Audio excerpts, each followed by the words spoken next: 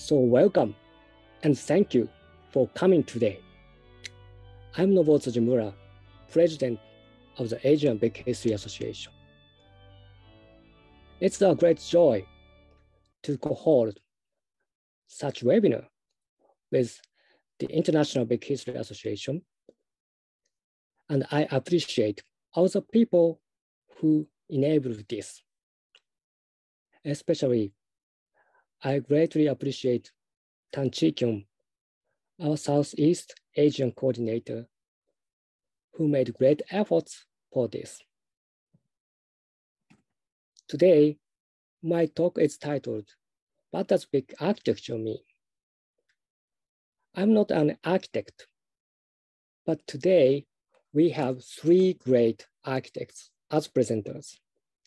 So after my talk, you can see all, all of their presentation. But first, as a curtain raiser, I'll talk about more general topic to lay foundation the whole webinar.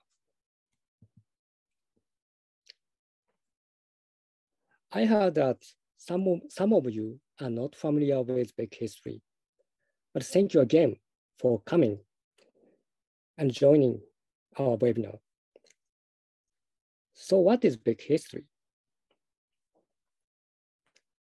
There are several ways to explain it, but today I want to first introduce H.G. Wells. Wells is best known as a scientific novelist but he is also one of the pioneers of big history.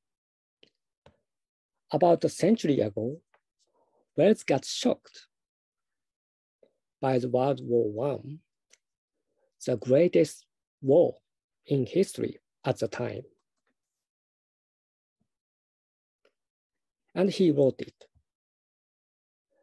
The need for a common knowledge of the general facts of human history throughout the world has become evident during the tragic happening of the last few years. There can be no common peace and prosperity without common historical ideas. Wells thought that if we see the world only through national histories, stories of nations like Japanese history, Chinese history, or Malaysian history, etc., we cannot prevent war among nations. So he wanted a common history for humanity. That history is what we now call big history. To foster a sense of identity, that we are all humans and share one common planet. We need a common story we can share anywhere on the earth. And we big historians believe there are shareable things among us, despite different nations, cultures, and traditions. Today, the people from Malaysia, China, Japan, Netherlands, the United States, and other countries came together here. That fact itself shows we can work together. We can search for something together. But what does our common story look like? Please look at this painting. This is painted by Van Gogh and called Starry Night over the Rhone. And this painting is a good metaphor of big history. Each object drawn in this painting is a symbol of our world and knowledge. We can see stars and cosmos that represents astronomy, the, then another kind of lights also shining. They are electric lights. They are a symbol of modernity, especially science and technology. We can cities, churches, and so on. They represent anthropology and history. Then we can see us, that geology and we can hear sounds of water flows in which life emerged and evolved.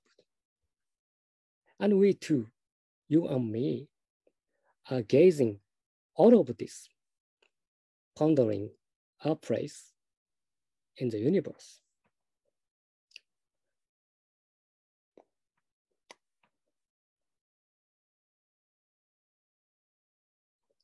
Big history tries to integrate all the knowledge we have known so that we can grasp the whole picture of our universe based on modern science and technology.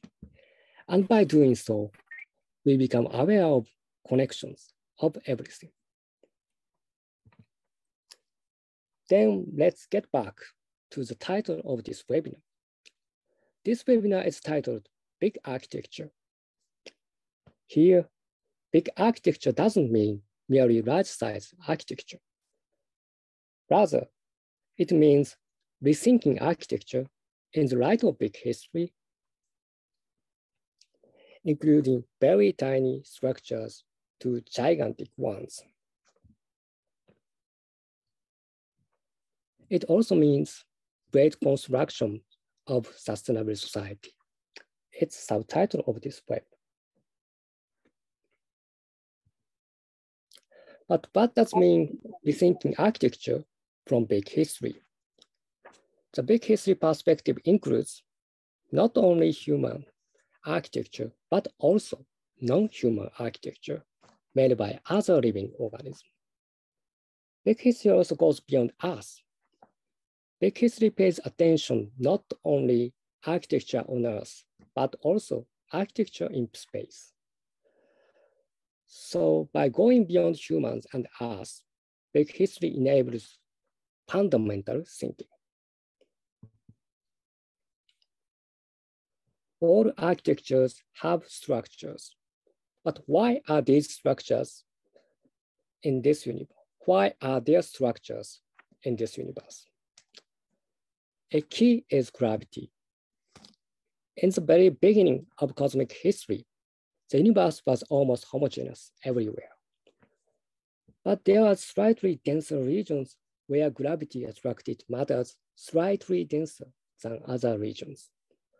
From these regions, the first stars appeared. And stars were a kind of element factory. So within dying stars, new elements were forged.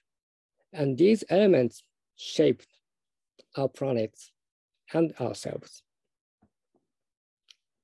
About 5,000 years ago, our ancestors learned how to build pyramids against gravity.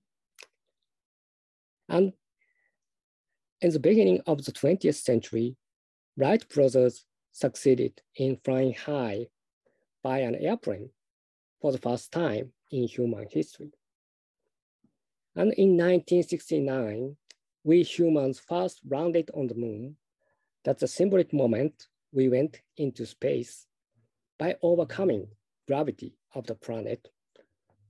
Then we made and maintained space architecture like the International Space Station. So will humans colonize other planets or galaxies? We don't know an answer now. But what we know now is that space is almost the world of death. In space, there's no air to breathe. There are no foods to eat.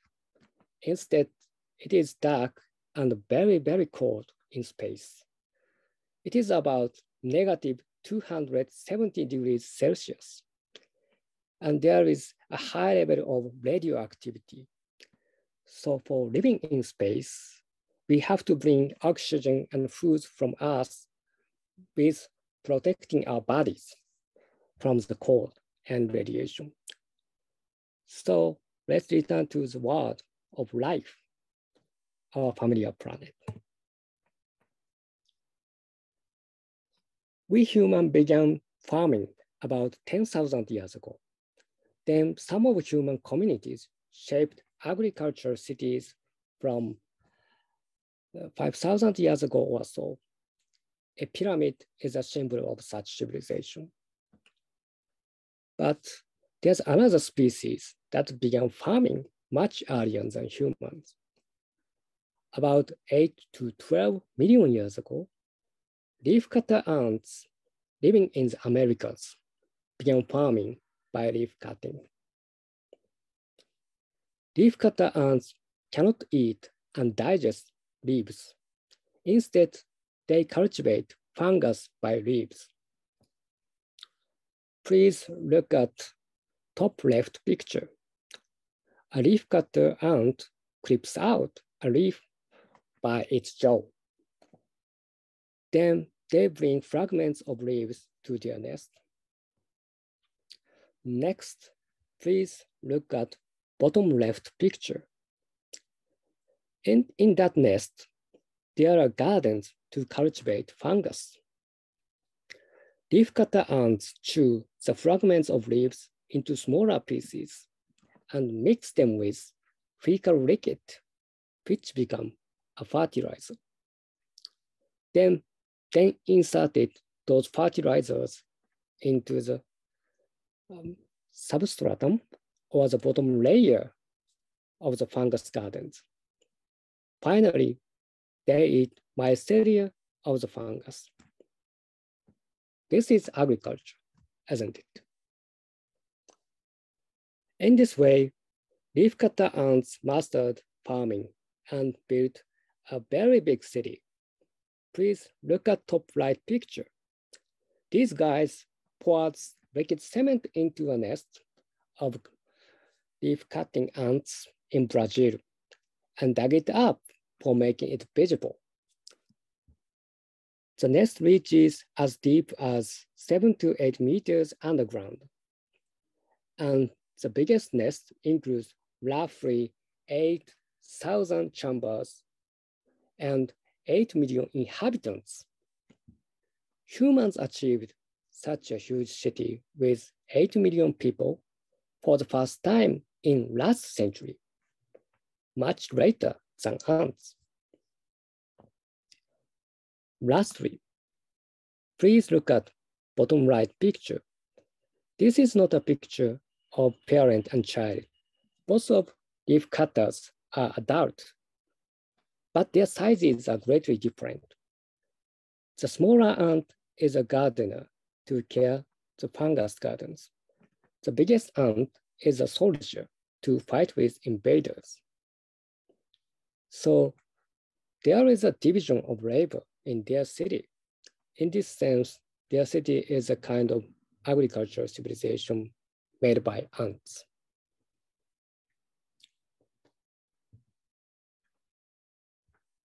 Like leaf cutting ants, termites cultivate a fungus too. For that farming, a temperature within a termite mound needs to be maintained about 30 degrees Celsius.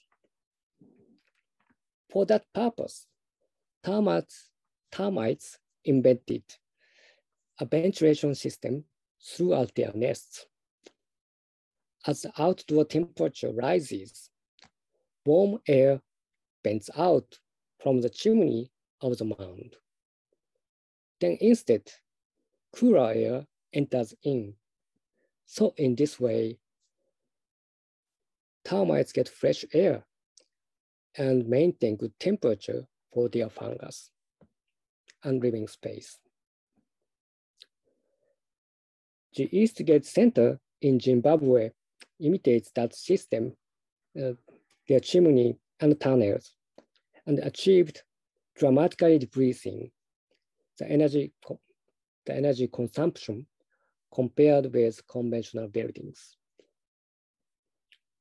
Likewise, there would be more and more wisdom and systems we can learn from other living organisms and nature.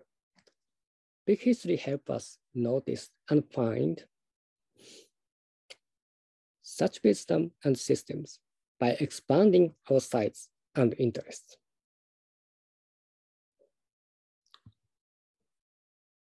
So it's time to conclude. By going beyond the eyesight confined to humans and jazz, big history enables fundamental thinking. Thanks to that, we can similar or earlier forms of what we usually see unique to humans in history of life, Earth, and the cosmos. This wider perspective gives us fresh insights and hints to rethink and solve our problems, including sustainable architecture. But my today's talk is no more than a tiny clue for that. Tiny clue for rethinking architecture in the light of big history. So we can dig it deeper and deeper. What I want to emphasize is that if we want to shed a new light on what you attracts, uh, new write on what attracts your heart and mind, big history is one by which you can make it possible. Big history is a field that has much potential. As of now, it is so-called blue ocean. That is still not so competitive. If you can devote yourself for one or two or three decades, you may become a leading figure in our field. So if you are interested in it, let's do it together. It's fun, joyful. Thank you.